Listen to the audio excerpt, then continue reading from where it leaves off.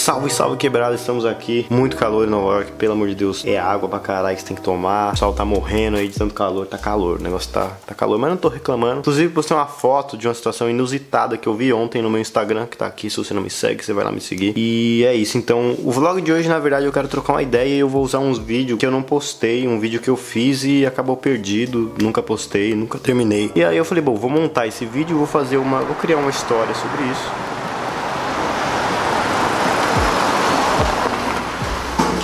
Salve quebrado, estou aqui começando mais um vídeo para vocês. É, hoje estamos aqui necessitando de papel higiênico, né? Então vamos fazer esse corre aí e vou levar vocês comigo, né? Minha vida aqui na, nos Estados Unidos é isso, eu fazendo os corre para vocês, vocês acompanhando eu nos corres da vida, né? Porque a gente já tá quebrado. Porra. Vou fazer o vlog aqui que quem manda nessa porra aqui sou eu, tá ligado?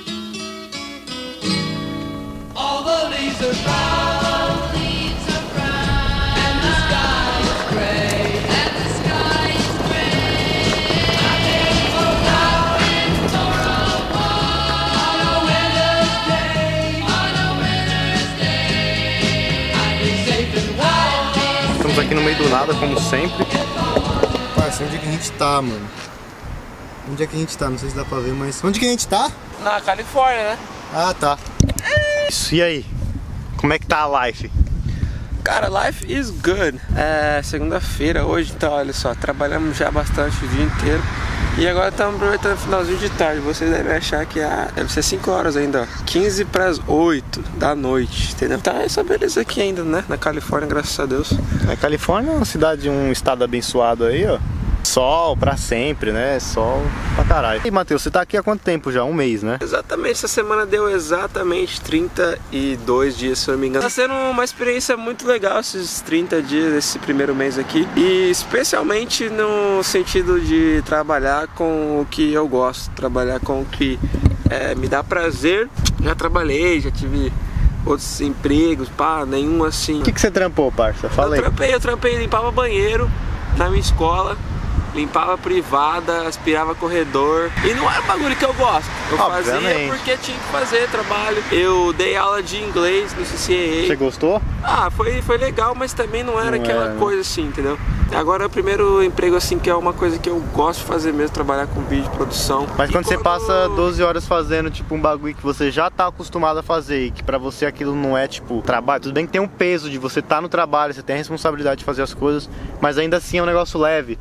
Não é algo que fica, tipo, caralho, queria estar fazendo outra coisa. A gente aprendeu pra caramba, conheceu gente da hora pra caramba. Que é um negócio que acontece fácil aqui é conhecer gente, né? É, né?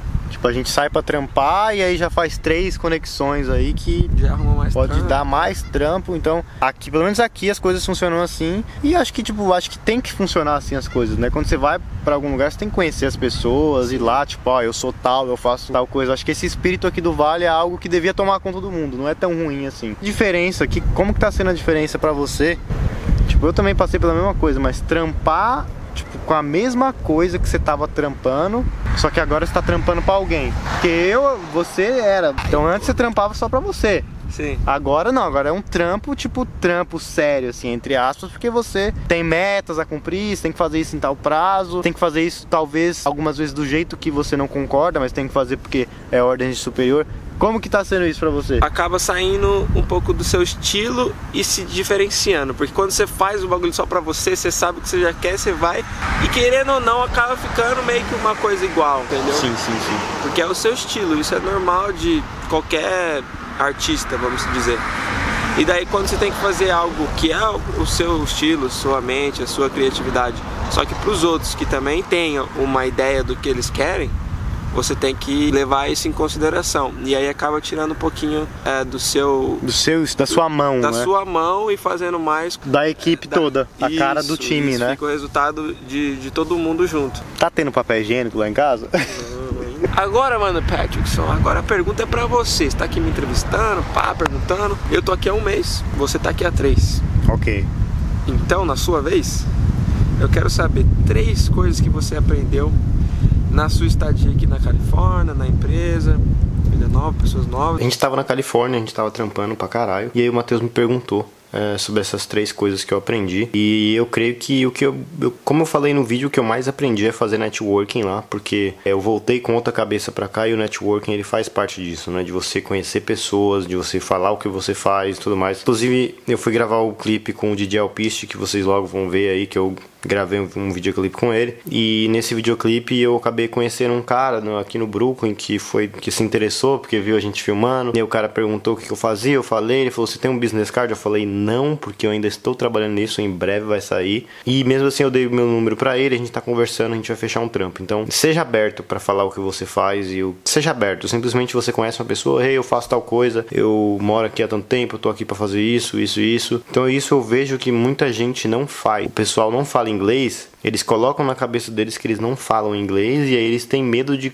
interagir com qualquer americano. E quando interage, nem chega perto desse, desses assuntos. Se a pessoa sabe falar. É na verdade um bloqueio mental disso. Então, lá eu aprendi que de você conhecer qualquer um, você pode falar o que, que você faz. Porque você não sabe, a pessoa pode estar precisando, a pessoa pode conhecer alguém que está precisando do que você faz. Se expanda, não vá só para a comunidade brasileira, faça isso com qualquer um que você vê na rua. Isso é uma das coisas que eu aprendi lá que eu aprendi bastante também. E acho que outra coisa também que eu não respondi naquele vídeo, eu tô respondendo aqui porque agora eu já posso falar certas coisas. Que uma das, é, uma das coisas que eu gostaria de falar também é que quando vocês estão é, adaptados em um lugar e vocês recebem uma proposta de emprego, eu jamais me arrependo, não me arrependo de ter ido. Mas quando vocês recebem uma proposta de emprego de alguém que vocês não conhecem em um lugar tão longe e já não é sua casa, você tem que ver quem é direito a pessoa, ver o que, que essa pessoa faz, o que que é pesquisar, ver o que, que você está entrando, porque a gente não sabe, graças a Deus comigo não aconteceu nada, foi só coisa boa mesmo, mas tem uma, sempre tem a possibilidade de você estar tá com alguém que, enfim, que você não conhece, você não sabe o background da pessoa, você não tem ninguém que você conhece, que conhece a pessoa, então fica meio que no escuro, assim, você fazer uma mudança para uma cidade que você não conhece ninguém além dessas pessoas, é um negócio que tem que tomar cuidado, é suspeito, né, mas graças a Deus não aconteceu nada, para mim foi tudo certo, e, enfim, é basicamente isso, o vídeo de hoje é um negócio bem curtinho mesmo, só queria queria compartilhar